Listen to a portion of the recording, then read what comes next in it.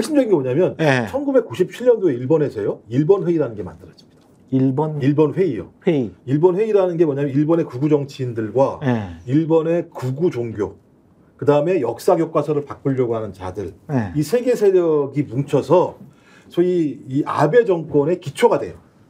아베 극우 세력에 그리고 지금 자민당 의원들의 상당수가 여기 일본의 소속들입니다. 이 사람들의 꿈은 딱 두 가지예요. 과거 소위 일왕 일왕 체제에서의 제국주의 영광을 다시 재현한다. 이걸 위해서 국가가 정상 국가화 되기 돼야 한다. 그러니까 우리가 군사력을 투사할 수 있는 힘을 가져야 한다라고 하는 이 두 가지 입장을 가지고 지금 아베 체제를 만들었던 거고 음. 이 아베 체제가 2000년대 계속 교과서 다 바꾸고 했던 게 여기에 근거한 거거든요. 제가 볼 땐 지금 우리 정부와 소위 식민지 근대화론자들, 뉴라이트들은 이 입장들을 그대로 투사해주고 해결해주는 가히 선봉대 역할을 하고 있는 사람들이에요. 음. 저 그렇다면 이 사람들은 일본 회의에 한국 지부나 마찬가지 역할을 하고 있어요. 그렇다면 뭘, 요- 뭘 하는 거냐? 일본의 과거 진짜 식민지 만행을 저질렀던 일왕 제국주의를 재현하려고 21세기 하는 행위들이거든요. 음. 그러니까 이런 사실들에 대해서 누가 용인해 주느냐? 또 미국이 용인해 주는 측면이 있어요. 왜냐하면 지금 이그러지고 있는 미국의 국력들을 다시 한번 재투사할 수 있는 힘을 만들어내기 위해서 일본이라고 하는 것들을 다 다시 갖고 오는 측면들이 분명히 있거든요. 그래서 이건 대단히 위험한 상황이고 아마 윤석열 정부를 마지막 정권으로 볼 수도 있어요. 소위 음. 미국과 일본이 다루기 쉬운. 음. 그러니까 제가 볼 때 마지막까지 윤석열 정부 최대 짜낸다. 최대한 참기- 밀어붙인다. 참기름 짜듯이. 아, 앞뒤 안 본다. 예. 그냥 쭉 앞으로 가서 맨날 하는 게 되, 되돌릴 수, 되돌릴 뭐 수 없는. 조약이나 협정 비슷한 거 해버려가지고. 선언, 이거 이 캠프 데이비드 선언도 그거잖아요. 예. 돌이킬 수 없게. 정권이 바뀌더라도. 국내법과 같은. 효력을 갖게. 그러니까 제가 볼때 그런 의도라고 볼 수밖에 없는 거예요. 이 상황 자체가. 근데 그렇게 하면 권력이 더 유지가 되기 쉽다라고 판단을 하는 걸까요? 아니면 이렇게 가는 게 진짜로 어? 한국인들을 위해서 좋다. 대한민국을 위해서 좋다라는 강한 신념을 가지고 이러는 걸까요? 어떻게 보십니까? 그러니까 사적인 권력의 유지, 어? 그리고 그 어떤 집단, 이른바 기득권 집단의 권력 유지를 위해, 위해서 야 이렇게 뭐 미국이 하자는 대로 하는 게 이게 좋다라는 그런 생각인 건지 아니면은 진짜로 뉴 라이트 같은 생각을 대통령과 대통령실 그 다음에 행정 관료들 전체가 다 가지고 있는 건지 김진태 강원도 지사도 뭐 건국절 이야기를 했으니까요 광복절에 그 일정의 기득권에 음. 속하는 사람들이 얻는 게 분명히 있겠죠. 이, 이 구조를 통해서 네. 그게 어떤 뭐 일본과의 비즈니스든 미국과의 비즈니스든 어떤 측면이든 간에 얻는 게 있을 텐데 근데 요런 구조가 분명히 있겠지만 정치적인 측면에서는 사실 윤석열 정권이라는 이 정치적 측면만 딱 놓고 봤을 때는 이거는 국민하고 싸우는 거거든요. 국민의 그렇지 감정하고 싸우는 거고 국민의 정서하고 싸우는 것이기 때문에 국민의 국민의 정서라는 면에서 놓고 봤을 때는 얻을 게 없습니다. 유리할 게 없는데 네, 얻을 게 하나도 아무리 없어요. 생각해도 그러면 무슨 얘기가 되냐면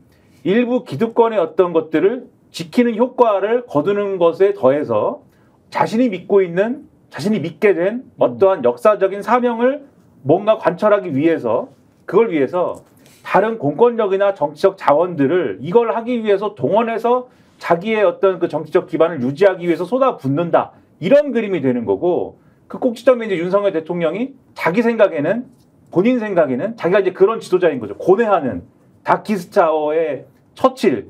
처칠이 지하철을 타고 지하철을 타고 서민들의 아픔을 보면서 야 내가 이거를 구원해야 되겠다라고 고독하게 마음을 먹는 그러한 고독한 지도자의 어떤 역할 그런 것들을 상정하고 지금 지하철 타고 가는 거겠죠. 그런데 그것은 본인만의 착각이고 그렇지 않다는 거를 항상 이렇게 말씀드리는데 그거를 모르니 안타까운 것이죠. 제 생각엔 네. 그러니까 올드라이트는 그래도 친일을 부끄러워하는 것 같아요. 음. 그러니까 그 반공으로 없는 거예요. 올드라이트들은. 그러니까 반공으로 막 싸우는 건데요. 전 뉴라이트는 이 반, 이게 친일의 흔적마저도 없애서 후회도 안 하려고 하는 사람들 같다. 아. 지금 행적을 보면, 지금 행태를, 행태를 보게 되면. 그래서 이걸 만드는 사람들이 소위 안병직, 그 다음에 이영훈이라고 하는 예. 1987년 낙성대 연구소에서 이걸 처음 만들면서부터 이 경제사 연구했던 안병직 교수 같은 경우 전혀 역사랑 관계 없는 경제사 예, 그 경제사를 했던 사람인데 예. 일본 유학 갔다 와서 완전히 확 바뀐 측면들이 있거든요. 음. 전 그렇다면 이거는 이 사람들의 신념인 것 같아요. 음. 이런 내용들 자체가 신념인 것 같고 이영훈 이, 이, 이, 이 사람도 신념인 것 같다라는 생각이 들고요. 왜냐하면 정황기란 사람이 8월 15일 날 낸 테러리스트 김구란 책에 보면 김구는 주사파가 만들어낸 영웅이에요. 논거가 그거예요.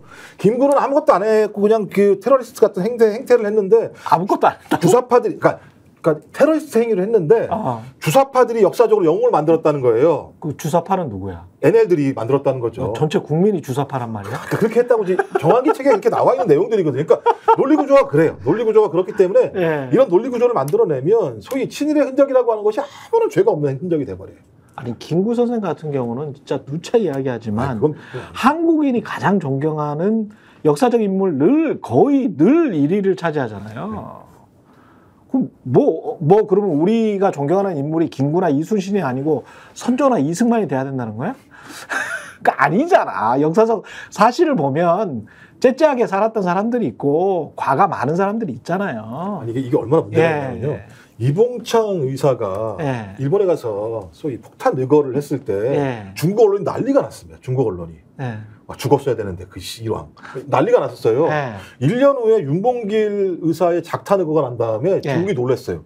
와, 한, 저 한국이라는 한국. 나라가 이 엄청난 일을 해? 그렇지. 그래서 장개석이 김구 찾아. 김구를 찾아.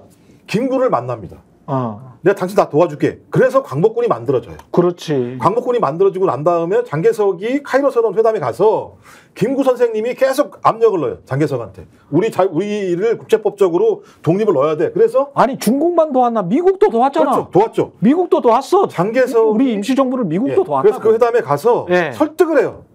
미국 저 대통령도 설득을 그렇지. 설득을 해서 거기에 유일하게 한국의 자유와 독립이라는 게 두 번 들어가요. 그럼 이거 누가 만들었어요? 소위 이봉창, 윤봉길, 김구 그렇죠. 이분들이 만들어낸 우리의 소위 국제법적으로 유유, 유효한 자유와 독립이잖아요. 음. 근데 이 사람을 테러리스트라고 얘기해버리면 음. 뭐 하자는 겁니까? 이 말도 안 되는 다 알면서도 이렇게 해요. 음. 이 사람 정황기란 사람이 몰랐겠습니까? 다 알면서 이런 얘기를 하고 있는 거죠. 역사를 제대로 알면 있다고 얘기를 안 해. 근데 결, 결론적으로는 신념이지만 이익화된 신념인 거죠. 이걸 통해서 자기들이 엄청난 이익을 얻을 수 있으니까. 뭐 어떤 이익인지 그게 나는 궁금해. 이게 어떤 이익일까? 이들이 아니 허위 의식을 가져 허위 의식이라는 게 이제 이데올로기가 허위 의식이라는 말이기도 하잖아요. 근데 아주 이상한 실체가 없는 허위 의식을 갖고 있다라고 하면 그래 그런갑다. 무식해서 그런가 보다. 이렇게 이제 생각을 할 것 같은데 이득이 딱히 될 만한 게 없을 것 같은데. 어? 뭐 뭐지? 뭐 일본에서 싸게 무슨 엔화 들여와가지고 부동산 계속 띄우려고 하나? 전 저는 그런 생각까지 든다니까. 아니 이게 도대체 일본으로부터 얻을 수 있는 이득이 뭐? 아니, 이득이 뭐지? 됐죠. 일단 자기 처음 낙선대 연구소 하고 난 다음에 도요타 재단으로부터 돈 받기 시작해서 연구를 시작을 했었죠. 그 사람들의 이제 사적으로 이제 예, 그런 게 그다음에 있는 거고. 2002년부터 시작이 됐는데 예. 그 뉴라이트라고 하는 게 예. 지금 2024년 딱 20년 지난 다음에 25개 요직이 25개 요직이 앉아 있어요. 이 사람들이 어떤 어. 형태로든지. 자기들의 예를 들면 암묵적인 카르텔들이 만들어져서 이익의 분점들이 대통령의 용인하에 벌어지고 있는 상황이지 않습니까? 예. 하나의 사조가 20년 만에 이 정도가 되고 대통령이 작년 광복절에서 독립운동은 공부운동이라고 얘기를 했어요. 그렇죠. 대통령 입으로 나왔어요. 예. 올해도 마찬가지입니다. 이승만 전, 대- 이승만 전 대통령이 건국의 아버지라고 대, 대통령이 얘기를 하는 상황이에요. 음. 자기들이 성공한 거죠, 이 정도면. 20년 만에 뉴라이트가 얘기했던 첫 단어가 나온 게 2002년 뉴라이트라는 단어였었는데 음. 그 단어가 20년 만에 대통령 입으로 공표가 되고 대통령 인사권으로 25명 요직에 앉아 있고 그다음에 역사를 바꾸려고 하고 있고 자기들이 좋아하는 일본이랑 지금 매우 친해져 친해져 있고 미국은 자기 좋아해주고 뭐 이것들이 이득이겠죠. 저는 어. 이 정도 상황이 되면 국회에서 음, 일제를 찬양하거나 그 표현의 자유를 넘어서는 행동을 하는 어, 자들은 처벌하는 법을 만들어야 된다고 봅니다. 일본이 아니고 일제. 네. 일제 일제. 예, 일제. 일제. 예, 요거 헷갈리지 마십시오. 일제. 요거 그 적절하게 말씀을 하신 게 사실 저는 그런 생각을 해요. 야스쿠니 심사 참배를 볼 때마다 그 해마다 가잖아. 무슨 일 있을 때마다 가잖아요. 그런데 만약에 독일에서 독일의 정치 지도자들이 독일 총리가 모든 역대 독일 총리가 나치 히틀러 무덤 어디에 있는지를 모르겠습니다만 하여간 나치의 장군들의 무덤에 가가지고 전범들 무덤에 가서 하이 히틀러 해봤어 봐. 유럽이 왜 가만히 있어? 미국이 가만히 있냐고. 그 처벌받습니다. 난리가 납니다. 그냥 독일이라는 나라 자체가 니들 완전 미친 거 아니야? 이렇게 되는 거예요. 근데 우리나라는 지금 수십 차례 뭐 사과를 했다라고 이런 망, 망언을 하고 있는데 수십 차례 야스쿠니 신사에서 참배를 했어. 전후에 정치 지도자들이. 근데 거기에 전범이 묻혀 있어. 그러면 거기 가서 하이 히틀러 한 거하고 뭐가 달라? 근데 이거를 받아, 받아들여 준다고? 계속? 말이 안 되죠. 제대로 사과도 안 했는데? 뭐, 이, 또라이들 아닌가 싶어요. 이런 개망나니들이 어딨지? 유럽의 18개국이요. 네. 역사 부정죄를 둬서요. 처벌을 할 수 있게 만들었어요. 그러니까 우리도 지금 저 20대 국회에 올라와 있었어요. 폐기 처분됐을 그런 건데 이 정도 상황이면 또 다시 나라를 말아먹으려고 또, 또 다시 또 다시 나라를 팔아먹으려고 하는 행위잖아요. 만약에 독일에서 그런 행위를 했으면 유럽에서 왕따 되고 국교 단절 당합니다, 진짜. 그러니까 우리가 계속 우리도 그렇고 중국도 그렇고 예. 계속 용인을 해줬기 때문에 일본이 계속 쉽게 얘기하면 스트라이크 존을 넓혀온 거죠. 이게 아, 지금 일본 일본이 하고 있는 최소한의 그 뭐랄까 그 뭐랄까 눈 가리고 아웅이 뭐냐면 총리 직함을 갖고 있을 때는 직접 참배하지 않는 겁니다. 총리일 때는 안 갑니다. 예. 공물만 공물료만 납부합니다. 공물을 보내거나 공물료만 납부를 해요. 이게 총리가 가면 문제가 된다. 음. 요렇게는 자기들도 인식하는 거예요. 물론 총리가 간 적이 있습니다. 나카소네 야스히로가 갖고 고이즈미 주니치로가 갔는데 고이즈미 주니치로는 특히 막 매년 막 가고 이래서 그렇죠. 난리가 났어요 그때는. 근데 그 이후에 난리가 난 경험 때문에 안 가는데 그러나 총리만 안 갈 뿐이지 지금 말씀하신 대로 내각의 관료들이 다 가고 심지어 야스쿠니에 참배하는 국회의원 모임 이런 거 만들어가지고 그러니까. 의원들이 단체로 가고 그리고 총리 했던 사람도 총리직에서 내려오면 갑니다.